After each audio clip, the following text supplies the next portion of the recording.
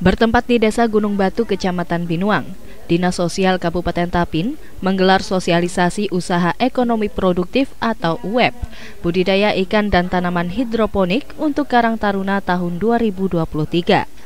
Kegiatan yang berdampak positif ini, menurut Samsi selaku Kepala Dinas Sosial Tapin mengharapkan agar dapat memberikan kemandirian sehingga menyongsong keluarga yang sejahtera.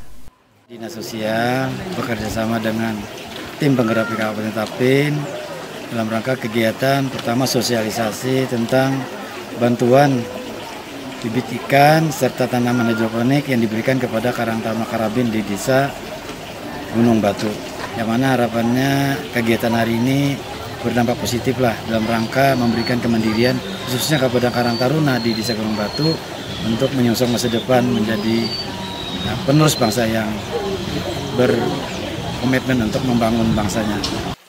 Selain sosialisasi, kegiatan yang bekerja sama dengan tim penggerak PKK Kabupaten Tapin ini juga menyerahkan bantuan kepada ibu-ibu lanjut usia dan ibu-ibu yang memiliki bayi bawah lima tahun atau balita.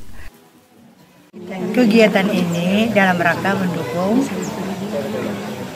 kegiatan peningkatan kesejahteraan keluarga di Desa Gunung Batu. Tim Liputan Tapin TV